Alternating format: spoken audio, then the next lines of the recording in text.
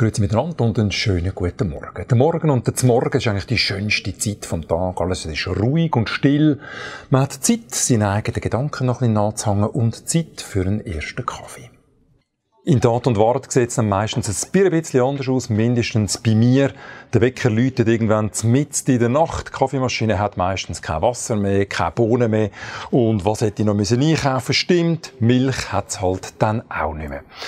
Der perfekte Morgen. So frühstückt die Schweiz. Das die aktuelle Geschichte in der Coop-Zeitung. Alles zum Thema Zmörgeln. Bei mir ist es so, ich bin dann irgendwann froh, wenn ich mal in Basel bin und im Büro bin und Zeit habe für einen ersten Kaffee. Ich wünsche Ihnen eine ganz schöne Woche.